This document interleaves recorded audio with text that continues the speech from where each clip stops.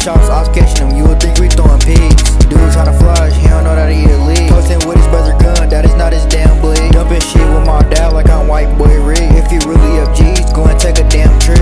Barking on these beats, I ain't never got a lie. Nigga tryna disrespect